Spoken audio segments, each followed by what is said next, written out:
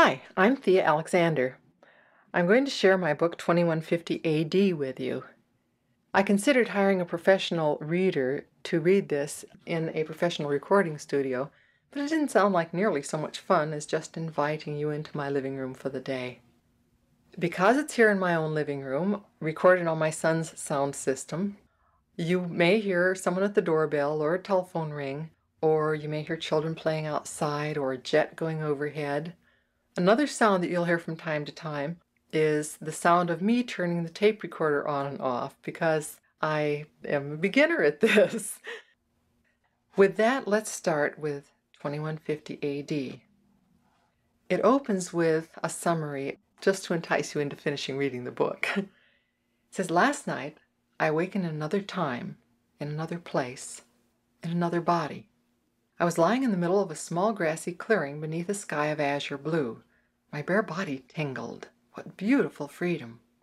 I jumped to my feet and ran on and on with no sense of tiring.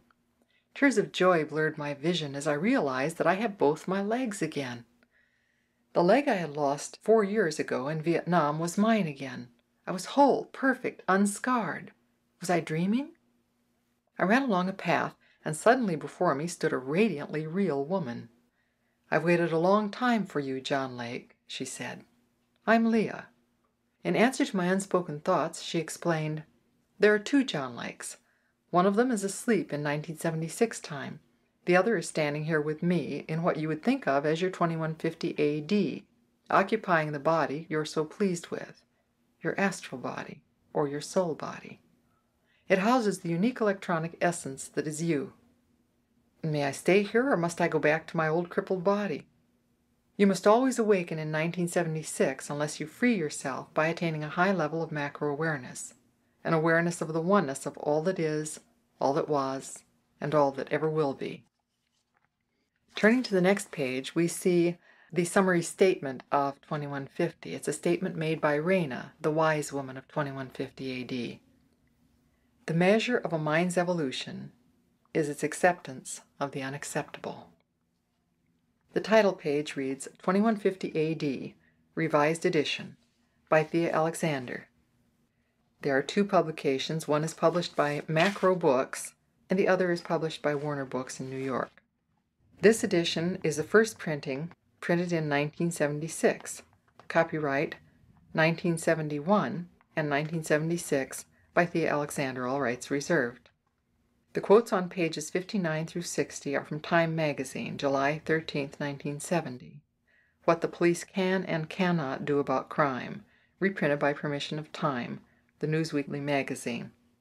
Copyright Time Incorporated.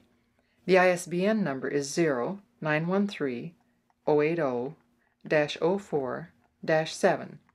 The book is printed in the United States of America, with the first printing in 1976. Contents The prologue is on page 7. Chapter 1 Leah, page 11. Chapter 2 Was It a Dream? page 26. Chapter 3 Carol, page 40. Chapter 4 Alpha Mates, page 48. Chapter 5 The Test of Reality, page 67. Chapter 6 John's Alpha and Rena, page 75. Chapter 7 The Unlimited Self, page 95. Chapter 8, Macro Contact, page 100. Chapter 9, Proof of the Pudding, page 140. Chapter 10, John's Past Lives, page 153. Chapter 11, Nada, page 174.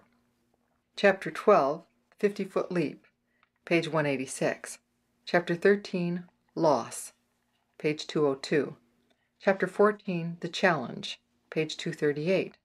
Chapter 15, Micro Island, page 252. Chapter 16, Karma, page 284. Chapter 18, Evolution, page 307. The epilogue is on page 309, and the author's statement is on page 316. At the end of the book is a section called CI Data Excerpts.